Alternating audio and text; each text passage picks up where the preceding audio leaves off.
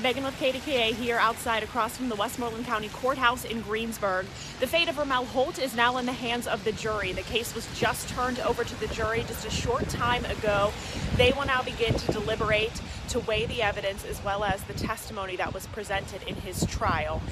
Closing arguments happened a little later this morning, and first, the defense gave his closing argument saying that the jury is going to make one of the most important decisions of their lives and this is a matter of life or death. He also talked about the oath that the jurors made, that they would make the decision, that they would weigh all of the evidence. He said that he believes that there is a lack of evidence.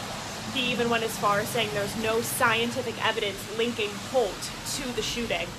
When the district attorney, John Peck, went up and gave his closing argument, he of course said the exact opposite. He described it as a mountain of evidence, as well as a lot of circumstantial evidence he believes that will convince the jury of Holt's guilt in this case.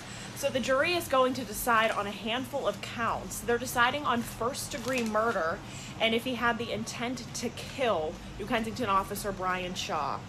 Now, there are four elements of first degree. They have to prove that Officer Shaw did in fact die that the defendant killed him, that he had an intent to kill with malice, meaning that he wanted to kill, it was willful, and it was deliberate. And also the fourth, uh, the fourth element that they must satisfy is that a law enforcement officer was on duty and the defendant knew that he was on duty at the time. So those are the four elements for the first charge. And there are four of them that the jury will be deliberating. There is an option that if they don't find him guilty of first degree, that he could be charged with third degree murder. That essentially says he had a wanton and willful disregard in his conduct, and as a result of that, it resulted in him killing another person. So that's a slight difference, and the jury is currently making that decision right now. So we're on a quick break. We, of course, will keep you posted as soon as um, word comes down that the jury has reached a decision. So be sure to stay tuned to KDKA.